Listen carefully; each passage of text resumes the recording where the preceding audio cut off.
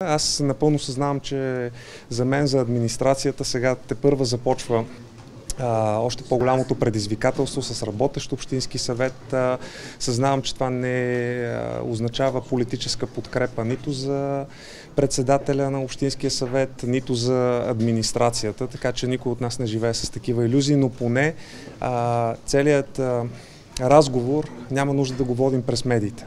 Ще се случва в комисиите, в Общинския съвет и мисля, че съвсем скоро отново ще сте свидетели на това колко много различия има в политиките, в вижданията ни по ключови въпроси, но поне ще можем да, да работим. Никакви сглобки и заварки няма, политическите различия си остават, но в крайна сметка всички показаха, поне по-голямата част, имаше и такива, които показаха, че въобще не ги интересува този град, какво му се случва и си следват тяхната тяхната политическа риторика, пробвайки да трупат дивиденти от това, че вкарат града в безвремие. За щастие, повечето колеги от Общинския съвет показаха отговорно отношение към града, но политическите ни различия си остават и ще продължаваме да си ги имаме. Този мандат никой не се заблуждава, че ще бъде лесен.